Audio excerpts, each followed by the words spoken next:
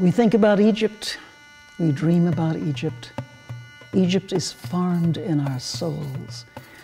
What is it about the geography of the inner life that the great images of Egypt, the great Eye of Horus, the pharaonic masks, Anubis, this particular Anubis is 4,000 years old, the end of the Old Kingdom, the beginning of the New Kingdom. What is it about these images that is there in the Western imagination? It's because Egypt is the call of the eternal. Essential Egypt still exists in us. How does it happen that an Aboriginal culture on the banks of the Nile within such a few hundred years can create an incredible theology, an extraordinary hieroglyphics, the pyramids, the sphinxes, the immense complexity of the Egyptian mind. How did it happen? How can it happen for us today?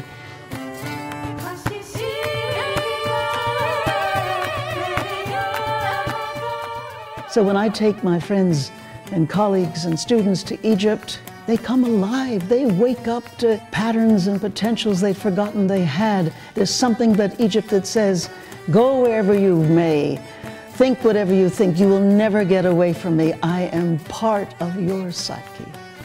And I think that's why we all have such extraordinary times. I lecture in fairly interesting ways about Isis and Osiris and about the great gods of Egypt and about the ways in which the Egyptians took on in their body and mind the neters, the great archetypal principles, and thus were able to build with the hands of Khnum, to love with the heart of Hathor, to understand with the soul of Isis. Oh, yes, our Egyptian tours are tremendous.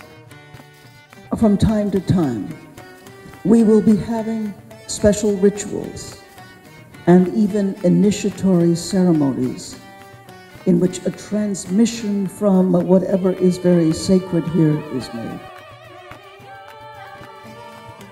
Because I've been to Egypt and know some of the great tour operators of Egypt, we get the temples to ourselves instead of the 15,000 other people. We go to the Cairo Museum by ourselves.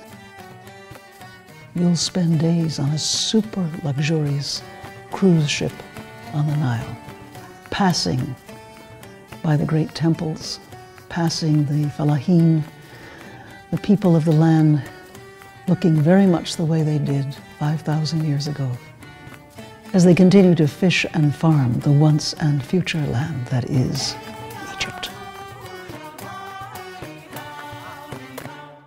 Come to Egypt. We'll have a wonderful time.